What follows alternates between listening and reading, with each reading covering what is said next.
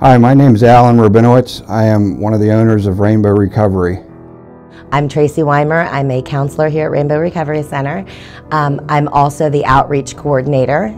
Um, Rainbow Recovery was opened in 2008, um, pretty much in the height of the opioid crisis. I worked for the Mercer County Coroner's Office for years, starting in 1999, um, right when opioids hit pretty much in Pennsylvania.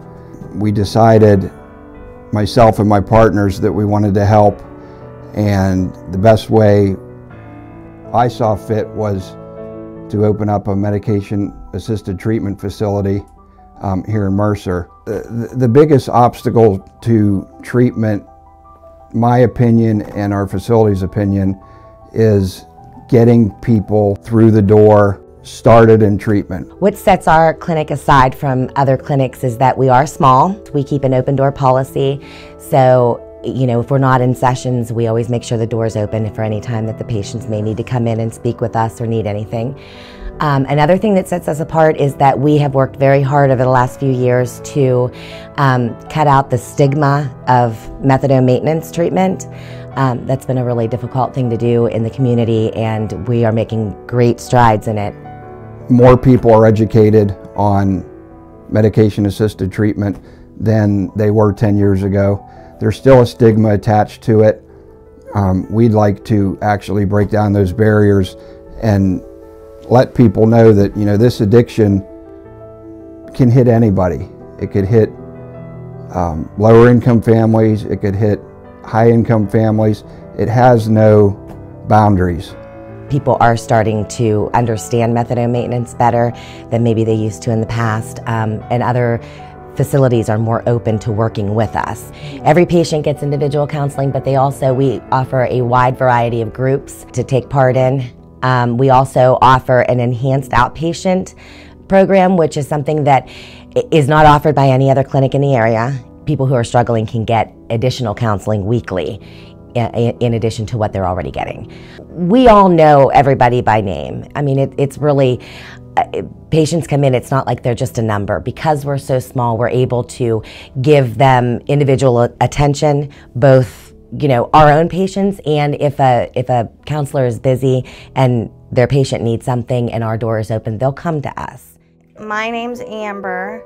I chose Rainbow because I heard good things about it and it was a smaller clinic. I've had the same counselor the whole time I've been here. They know you, they know your name, they remember what you talked about in your last session and it's not, you're not just a number.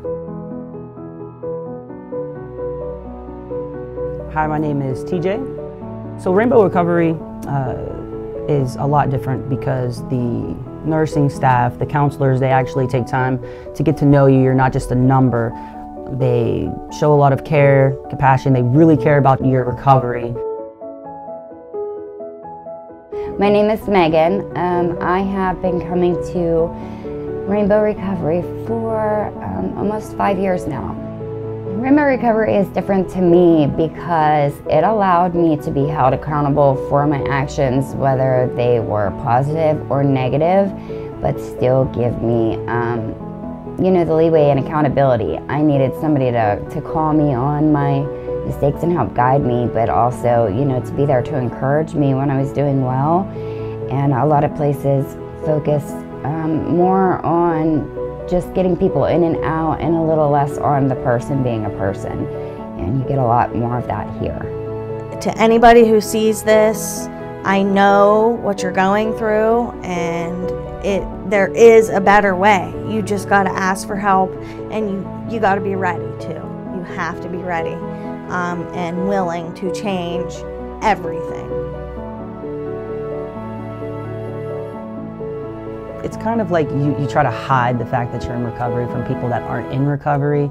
So I was concerned about who would see this video and how they would think, what they would think of me and I had to just kind of get over that because at the end of the day there could be somebody out there suffering uh, that might see this video and it might help them and at the end of the day it's not about me or what other people think. I wanted to be a part of this project because I know that it's going to help people. Addiction is it's it's horrible, but it is not the end all.